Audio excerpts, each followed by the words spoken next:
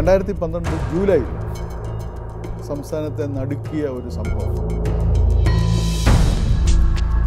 പരിക്കേറ്റ് കിടക്കുന്ന ആളുടെ മുഖത്ത് സർജിക്കൽ പ്ലാസ്റ്റർ ഒട്ടിച്ചിരിക്കുന്നു. ആറന്മുളയുള്ള ഡ്രൈവറുടെ മുഖത്ത് സർജിക്കൽ പ്ലാസ്റ്റർ ഒട്ടിച്ചത് ഒരേ രീതിയിലാണ്. താഴികക്കുടം വിൽക്കാനായി കൈമാറ്റം നടന്നപ്പോഴാണ് കവർച്ചക്കാർ ശരിക്കും ഞെട്ടിയത്.